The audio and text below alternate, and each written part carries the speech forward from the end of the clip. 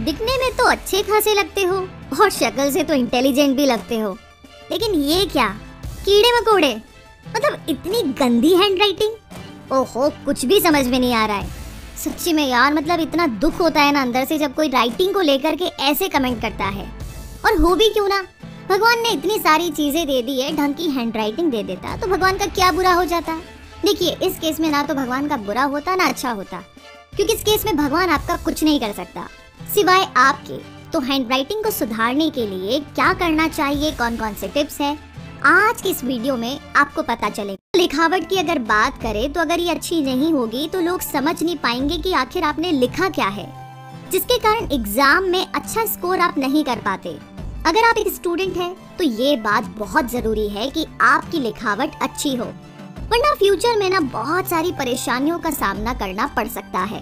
तो आज के इस वीडियो में हम कुछ ऐसी टिप्स आपको बताएँगे, जिन्हें फॉलो करके आप अपनी हैंडराइटिंग को इम्प्रूव कर सकते हैं। पहला अच्छा लिखने की प्रैक्टिस कीजिए। जितना आप बेहतर लिखने की कोशिश करेंगे, उतनी जल्दी ही आपके लेखन में सुधार होगा। आप अपनी राइटिंग सुधारने के लिए मैगजीन्स और बुक्स की मदद ले सकते हैं।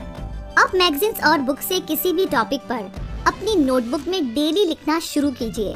ऐसा करने से जल्दी ही आपकी राइटिंग काफ़ी अच्छी हो जाएगी। दूसरे नंबर पर है कि आपको शब्दों के बाद स्पेस की इम्पोर्टेंस को पहचानना है। जी हाँ अगर वर्ड्स के बीच में स्पेस नहीं हो तो उसे समझने में काफ़ी मुश्किल हो जाती है। तो जब भी आपका कोई वर्ड पूरा हो जाए, उसके बाद थोड़ा स्पेस दे करके अगला शब्द लिखे। हमेशा स्पेस का ध्यान रखें। मेरे कहने का मतलब ये नहीं है कि ज़्यादा स्पेस होना चाहिए। लेकिन कम भी नहीं होना चाहिए। मतलब मीडियम स्पेस रखे, एकदम बैलेंस करके। तीसरे नंबर पर है, ज़्यादा तेज ना लिखे। बहुत से लोगों को ना एकदम खटखट करके तेज़ी से लिखने की आदत होती है। तेज़ी से लिखने से आपकी राइटिंग बिगड़ सकती है और लिखते टाइम कभी भी आप जल्दी ना करें। अगर ज़रूरी हो, तभी आप जल्दी लिखे। अदरवाइज़ ग्रामेटिकल मिस्टेक्स मात्राएँ पॉइंट कॉमा पूर्ण विराम, न जाने बहुत सारी गलतियाँ होने के चांसेस काफ़ी ज़्यादा होते हैं।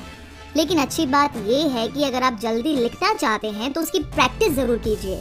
तो इससे गलतियाँ होने के चांसेस भी कम होंगे और जो आप कहना चाहते हैं एग्जैक्टली exactly आप वही लिखेंगे। चौथे नंबर पर है पेन और पेंसिल को अच्छी तरह से पकड़े। अगर आपको ठीक से पेन या पेंसिल पकड़ना नहीं आता है तो आपकी राइटिंग कभी नहीं सुधर सकती। बहुत सारे लोगों को लगता है कि मतलब ये भी क्या बात है, मुझे पेन और पेंसिल पकड़ना ही नहीं आता। लेकिन अगर आपकी राइटिंग गलत है तो इसका सीधा कनेक्शन ये है कि आपने शायद ठीक से उसे नहीं पकड़ा है। इसलिए ध्यान दीजिए, जब भी कोई पेन या पेंसिल पकड़े तो इसे बीच से पकड़े, ना ज़्यादा ऊपर से और ना ज़्यादा नीचे से। और आप हर एंगल से पकड़कर लिखने की कोशिश कीजिए। आई थिंक आपको बेटर आइडिया हो जाएगा कि किस तरीके से सही राइटिंग आ रही है और किस तरीके से पेंसिल को पकड़ना चाहिए। एक बात का और भी ध्यान रखिए कि लिखते समय हाथों पर ज़्यादा ज़ोर ना पड़े। खास ध्यान रखिए इस बात का।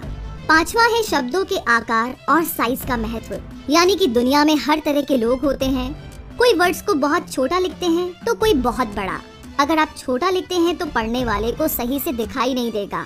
और बड़ा लिखते हैं तो पढ़ने वाले को ठीक से समझ नहीं आएगा। तो दोस्तों, हमारे कहने का सीधा मतलब ये है कि अपने वर्ड्स को हमेशा मीडियम साइज़ में लिखे। इसे ना ज़्यादा छोटा होने दें और ना ज़्यादा बड़ा। और इसका अंदाज़ा आप लगा सकते हैं बाकी दोस्तों की कॉपीज को देख करके।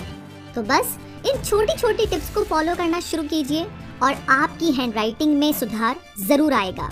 और इसी के साथ ये वीडियो आपको कैसा लगा, हमें कमेंट बॉक्स में लिख करके ज़रूर बताइए।